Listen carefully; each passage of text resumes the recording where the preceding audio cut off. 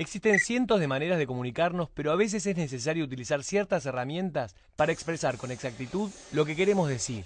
Los marcadores y los conectores textuales son palabras o frases que te ayudan a ordenar lo que estás comunicando. Funcionan como guías para los lectores, ya que indican de qué manera se relacionan las distintas partes del texto. No es lo mismo decir, sin lugar a dudas, todos trabajaremos organizadamente, que todos trabajaremos organizadamente o, felizmente, todos trabajaremos organizadamente. En el primer ejemplo, sin lugar a dudas, nos presenta la opinión de quien la dice y refuerza la afirmación que le sigue. Todos trabajaremos organizadamente. En cambio, en el segundo ejemplo, no aparece la opinión del hablante y su afirmación pierde fuerza.